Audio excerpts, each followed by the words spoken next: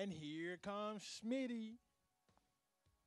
Now off. Friend and French, you got a four. Five behind the two, one, six, five, three, eight, and the seven.